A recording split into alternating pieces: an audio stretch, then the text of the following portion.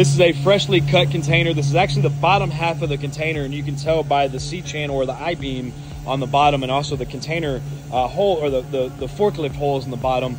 Uh, but what Abraham is doing here is he is prepping it uh, and sanding down the areas that will be welded on top of. So we're gonna put a two by six beam on top of this here, um, and in order to do that so that the welds will adhere properly um, we go in and we sand it and prep it down. And then also that is for the silicone as well that will go in and seal it up entirely